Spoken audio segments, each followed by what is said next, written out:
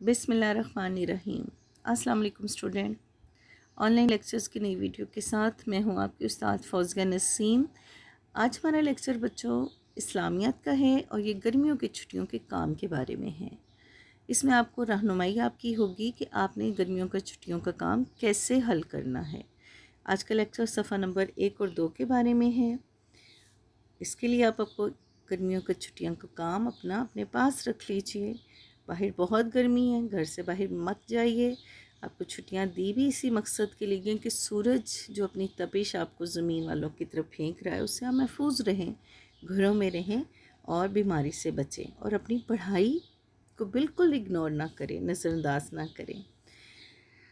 जी बच्चों, आज का जो पहला सफ़ा है वो दुआओं के मतलब है। दुआएँ कौन सी? जो रोज़ाना पढ़ी जाने वाली दुआएँ हैं। ऐसी दुआएँ हैं जो हमने अपनी ज़िंदगी में रोज़ पढ़नी है। इससे अल्लाह ताला हमें आसानी और तहफ़ में दे, रख देते हैं और हम महफूज रहते हैं शयातीन की शैतानियत से और बहुत सी मसाइब से भी, बहुत सी मुसीबतों से भी महफूज रखते हैं और अल्लाह, इससे हम अपने अल्लाह के ज़्यादा करीब भी हो जाते हैं। तस्वीर आपके सामने हैं और साथ ही दुआएँ हैं। आपने क्या करना है इन तस्वीर को इन दुआओं के साथ मिलाना है कि कौन सी दुआ किस मौके पे पढ़ी जाती है। आप इसके लिए रंगीन पेंसिलें भी यूज़ कर सकते हैं। पहली दुआ जो है, वो आपकी मस्जिद में दाखिल होने की दुआ है।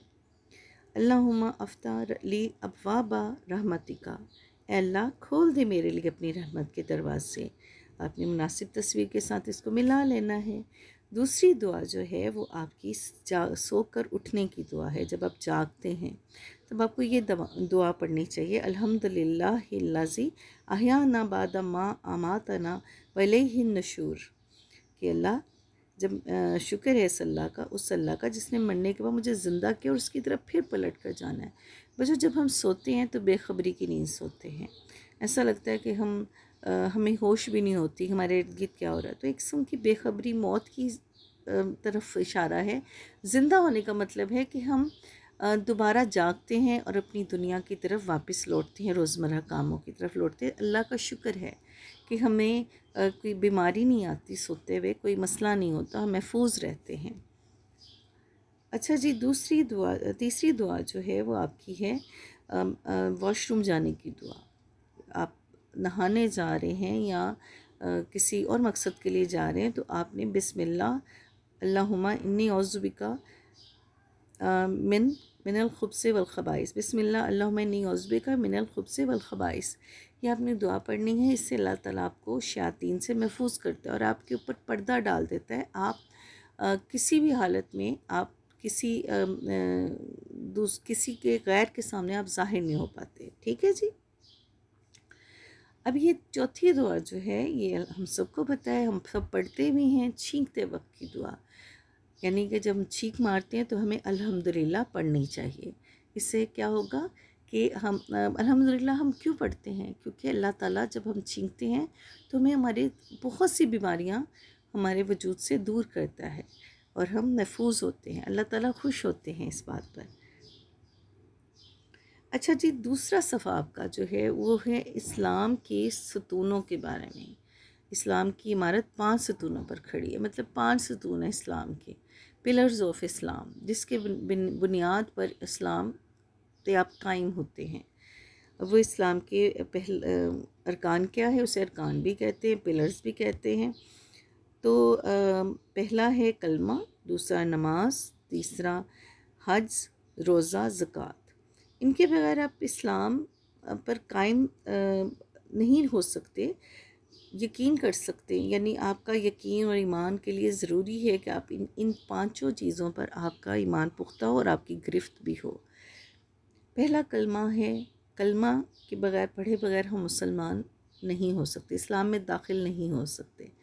उसमें हम गवाही देते हैं अल्लाह आपके सिवा कोई अल्लाह नहीं हमारा और आपने हमें पैदा किया है और हज़रत मोहम्मद अलैहि वसल्लम अल्लाह के बंदे और रसूल हैं। दूसरा जो है आपके लिए बहुत ज़रूरी है और हमारे लिए बहुत ज़रूरी है फ़र्ज़ की है नमाज़। नमाज़ के बग़ैर, नमाज़ के बारे में हमसे सवाल पूछे जाएँगे। अल्लाह ताला ने पाँच नमाजें हम पर फ़र्ज़ की हैं जो हमें दिन रात में पढ़नी हैं। तीसरा है रोज़ा। रोज़ा बच्चों, एक महीना रमज़ान का होता है। उसमें हमने रोज़े रखने होते हैं। उसके अलावा भी आप रोज़े रख सकते हैं, लेकिन वो नफली रोज़े होते हैं, वो फ़र्ज़ रोज़े नहीं होते। जो रमज़ान में हम रोज़े रखते हैं, वो फ़र्ज़ होते हैं, वो हर मुसलमान पर फ़र्ज़ हैं, ठीक है? उसे लाजमी हमने रखने होते हैं, और ख़ास उम्र से। छोटा बच्चा चंद, पाँच, छः साल का नहीं रोज़े रखता, उससे बड़ी उम्र का, एक ख़ास उम्र से बच्चों का शुरू होता है, जो अल्लाह ताला वहाँ से जिस जिस उम्र में बच्चे आराम से, आसानी से रोज़े रख सकते हैं। वहाँ से उन पर फ़र्ज़ हो जाते हैं रोज़े तो रोज़ा रखना चाहिए। अच्छा जी, चौथी चीज़ है ज़क़़त। ज़क़़त असल में वो रकम होती है, वो पैसे होते हैं जो हम अपने माल से किसी की मदद के लिए निकालते हैं। और ये अल्लाह की खातिर निकालते हैं। इससे हमारे अंदर दूसरों की मदद का जज्बा भी पैदा होता है, दूसरों के लिए हमारे दिल में मोहब्बत और मेहरबानी पैदा होती है और अल्लाह ताला हमारे माल में बरकत भी भरता है।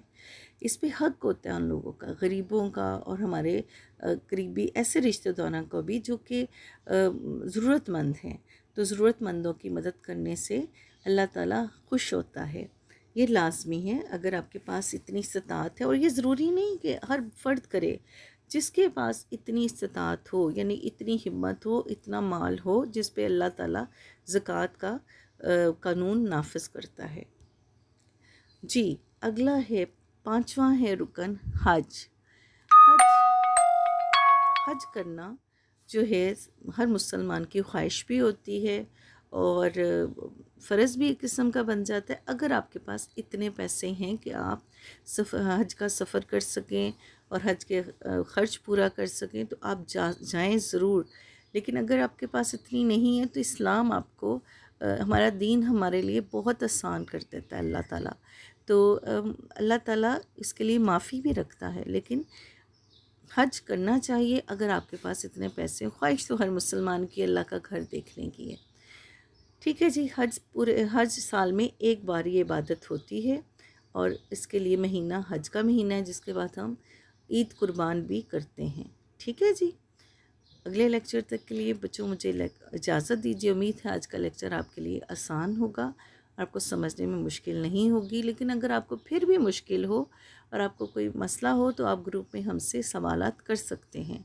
अपने अपने ग्रुप में अपनी इस्लामियत के टीचर से सवाल पूछिए, आपको ज़रूर मदद मिलेगी। अगले लेक्चर तक के लिए इजाज़त, अल्लाह हाफ़